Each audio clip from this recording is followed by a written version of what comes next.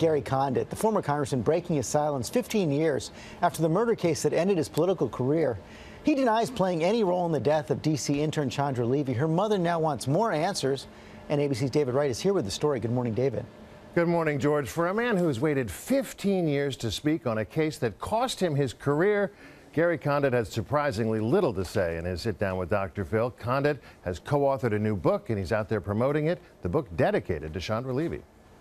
Former Congressman Gary Condit has always insisted he had nothing to do with the death of Chandra Levy, the 24 year old Washington intern whose body ultimately turned up in D.C.'s Rock Creek Park. Why is it you will not answer publicly whether or not you had a sexual relationship with Chandra Levy?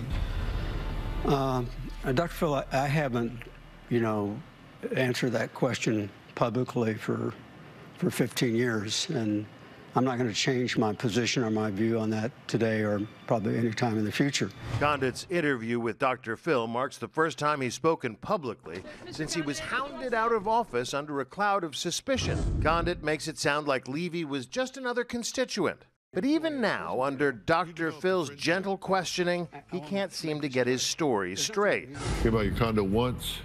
Well, maybe twice. You say in your book that she had come by a handful of times. Yeah, I, I mean, I said a handful of times. It could have been four times, could have been five. He was not being forthright.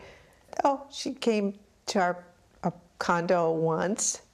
Oh, maybe two, maybe three times. Condit leaves it to his co author, sitting right there beside him, to speculate. The two of them just published a book about the case. You think people will conclude from that that he had a sexual relationship with her? I do. Why would a powerful California congressman give a young constituent jewelry? In my desk, I kept gifts. We'd pick up cufflinks, lapel pins, and uh, my wife had picked up some bracelets you know, for people, birthdays. Kids would come in and I'd say, pick a hat. So Chandra came into my office. She had a gift for me, which was chocolates. And I opened my drawer and reached and said, we have one for you. For Levy's mother, more questions than answers. Internally, I have a lot of pain and I still will always have questions. Condit has waited 15 years to speak. Dr. Phil didn't exactly grill him.